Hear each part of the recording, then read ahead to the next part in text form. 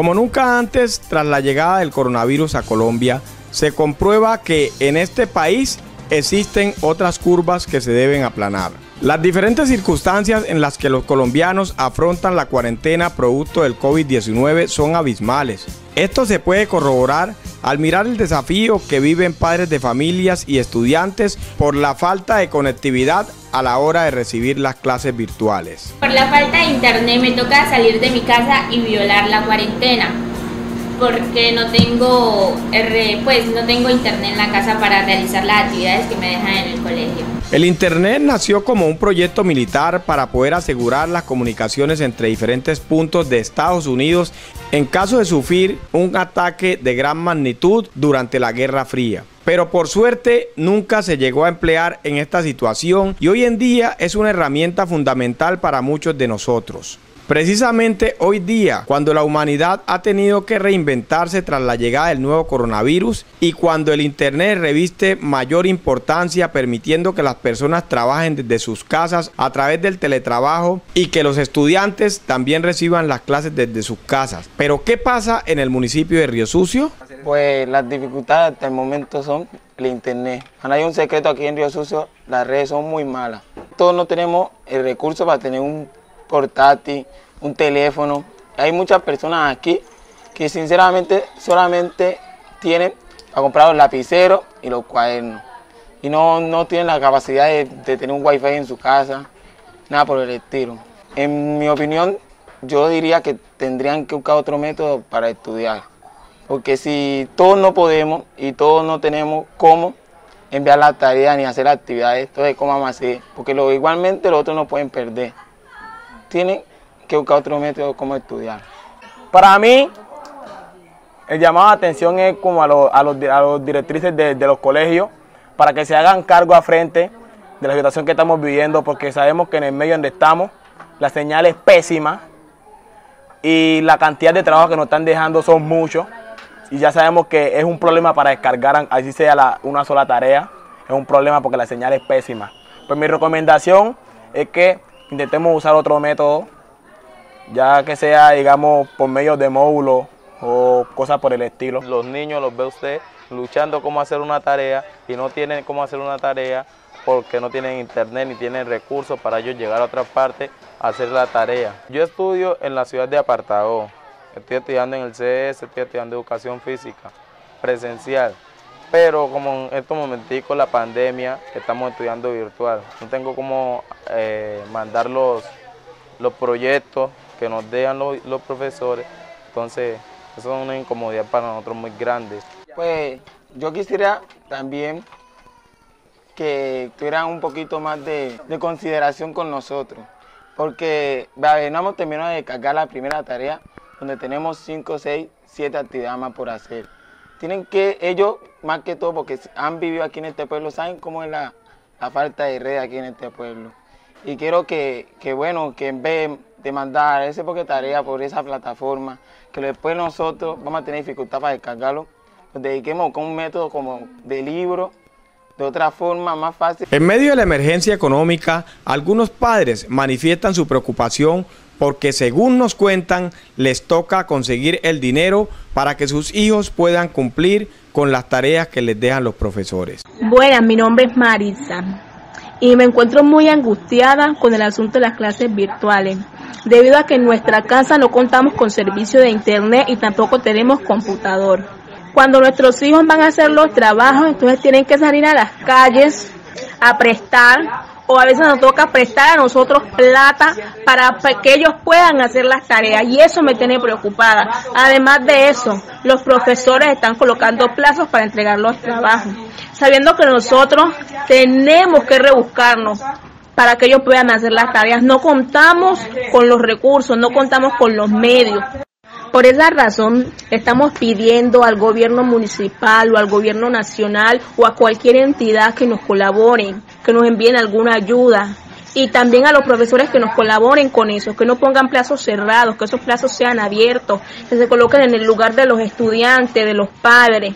La triste realidad es que en pleno siglo XXI, poblaciones distantes a las grandes urbes carecen del acceso a Internet, que por su importancia debería ser declarado como un derecho fundamental. En Río Sucio Chocó son más de 8.000 estudiantes, de los cuales solo aproximadamente el 20% cuenta con un servicio de Internet y menos del 40% tienen una computadora en sus casas. ¿Cómo califico yo el servicio de Claro en el municipio de Río Sucio Chocó? Lo definiría una palabra, paupérrimo, paupérrimo, malo, pésimo. No, el servicio de Claro en Río Sucio es un servicio de, de bastante malo. Bastante malo. Y hace rato venimos sufriendo este mal. Yo soy una de las personas que a Claro no lo he llamado claro, sino malo, malo. por el mal, el mal servicio que presta en este municipio. Pésimo, malo, porque el servicio aquí no nos funciona como Claro lo, lo había, lo había prometido sino que aquí muchas veces se va la comunicación y nadie dice nada. No sabemos por qué se va y nunca la comunicación a nivel WhatsApp, a nivel vía voz es buena, es mala y pésima. Pues la verdad, el servicio de Claro en el municipio de Río Suso es pésimo. Río Suso es pésimo. Debido a que Tena que se encuentra en estos momentos no cubre la cobertura de todos los, todos los celulares que se encuentran aquí. Yo pago una factura en la cual a veces me viene por ciento y pico, ciento y pico mil de pesos, donde tengo todos los servicios y no los utilizo porque me tengo que conectar básicamente tipo 10, 11 de la noche para utilizar lo que es el sistema de internet. La señal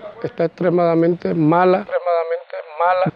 No podemos entrar a, las redes sociales donde no podemos descargar ni una fotografía, un video de, de las cosas que nos mandan a nosotros a su celular.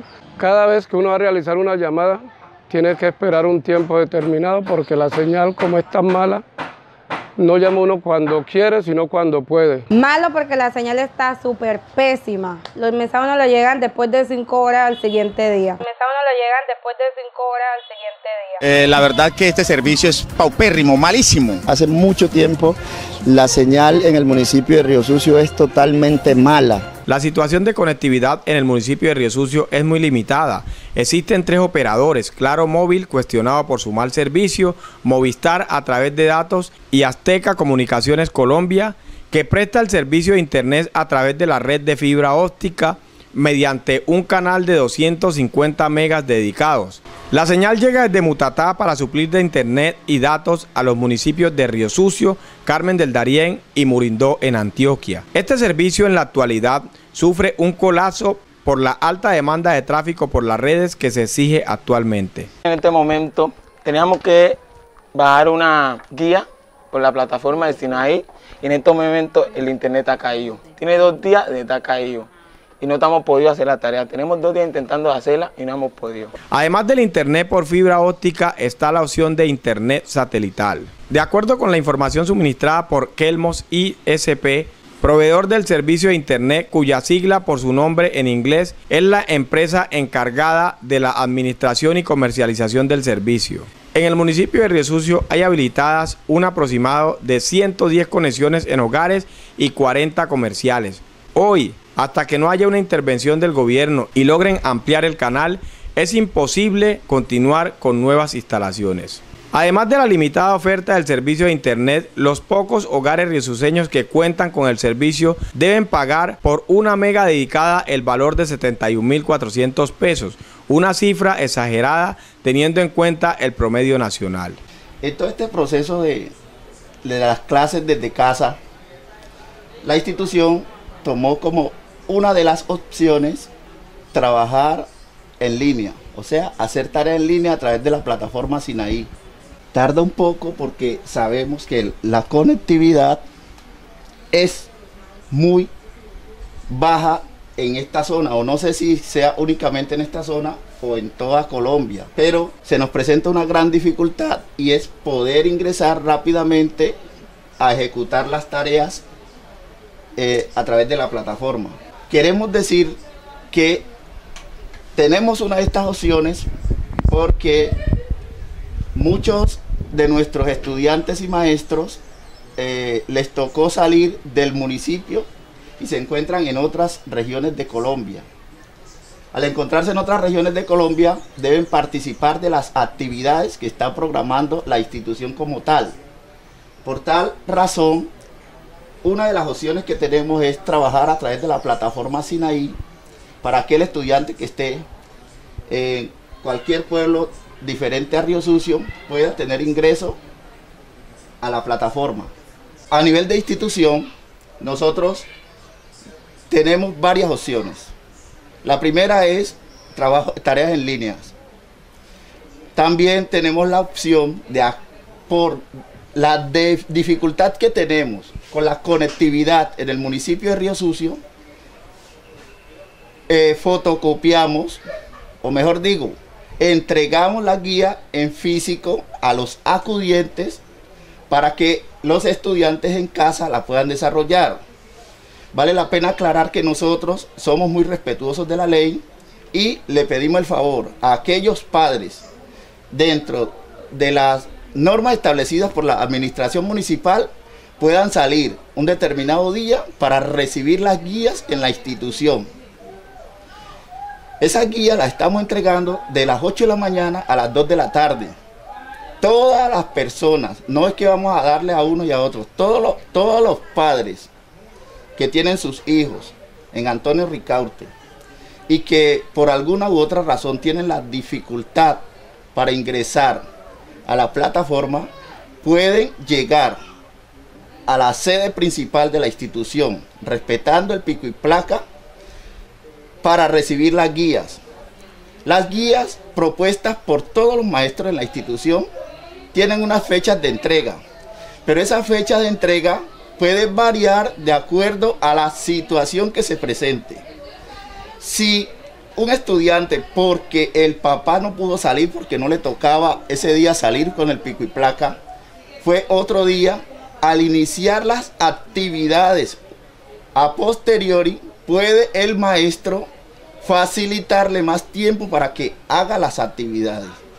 ¿Qué quiere decir eso?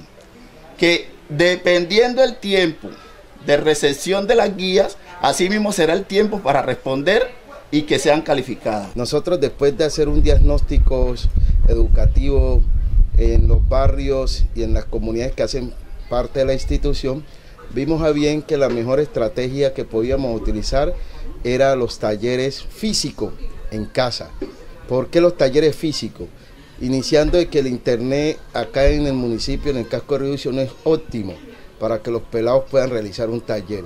Y aún más, los pelados, los estudiantes no cuentan con los computadores para poder realizar las tareas. Si hay el internet en la casa, no hay el computador. Y si hay el computador, no hay internet. O sea que acá en el municipio de Río Sucio hay una realidad sentida y es que de verdad, primero, el gobierno nacional a través del Ministerio de Comunicación debería de tener en cuenta el municipio de Río para que lo votara en computadores para educar. Esa sería una primera herramienta en aras de que los estudiantes pudieran obtener eso y poder ahora sí eh, comenzar ese trabajo. Mirando nosotros de que esa no era la mejor salida, entonces con la ayuda de los profesores en la segunda semana eh, del mes de marzo que el Ministerio de Educación implementó el, trabajo en casa, entonces los docentes nos dedicamos a trabajar la guía, que fueron dos semanas de desarrollo institucional, para que ahora el 20 de abril ya se comenzara a entregar a los padres de familia en aras de que los estudiantes pudieran realizarlo. Entonces la única manera para que las comunidades puedan llevar a cabo también el proceso educativo, ya que es un derecho a la educación, era trabajar por medio de guías y física que le pudiera llegar directamente al estudiante y entregarle materiales didácticos como fue colores, sacapunta, borrador, lápices, lapicero a todos los estudiantes de la institución en aras de que nadie diga que no pudo desarrollar la guía porque no tenía lapicero, que no contaba con lápiz, que no, que mire que le colocaron dibujar pero no tenía colores. Entonces, le entregamos a los estudiantes de preescolar y primero, que fueron las guías que más resaltaron el trabajo con coloreado, le entregamos una caja de color de las grandes a los estudiantes. Así pues que para nosotros ha sido una estrategia muy buena porque ya hoy contamos con que los padres están ayudando a los niños a que puedan desarrollar sus actividades en casa. ¿Eso qué permite? Segundo, que los estudiantes no estén en las calles investigando tareas. Porque si se dice que es un trabajo en casa y la política del Ministerio de Educación y del Ministerio de Salud es que los estudiantes deben de permanecer en casa porque a quien lo que se está cuidando es a la niñez, a los jóvenes y a los ancianos. Esa es la política a nivel presidencial de cuidarlos a ellos. Por lo tanto, si nosotros que somos del sector educativo implementamos actividades con que ellos tengan que investigar en salas de internet o en otro lado, entonces vamos a, tener una cantidad de niños en la calle investigando porque en realidad en su casa no cuentan con esas herramientas. Entonces lo esencial, lo básico, es que se siga implementando la guía física en aras de que los pelados puedan trabajar en casa. Y otro elemento muy importante, de que esas guías en casa sean guías flexibles, claras, que los padres de familia la comprendan y le puedan ayudar a esos estudiantes. Este panorama es desalentador, pues si el acceso a Internet es mínimo para los cerca de 4.000 estudiantes de la cabecera municipal y el centro poblado de Belén de Bajirá, en muchas comunidades alejadas ni siquiera cuentan con la señal para realizar o recibir llamadas desde un celular, mucho menos después de que el gobierno levantara los famosos kioscos Vive Digital. En el campo, en las comunidades, pues nosotros contamos con los kioscos digitales. El Ministerio de Educación en el mes de noviembre y enero levantó los kioscos. Quiere decir que las comunidades se quedaron sin, sin el medio, sin la herramienta cómo trabajar. Podemos deducir que la falta de conectividad es otra de las necesidades que quedan demostradas por la pandemia del COVID-19 en Colombia. Esta triste realidad debe indicarle al gobierno nacional que la desigualdad es otra curva que se debe aplanar.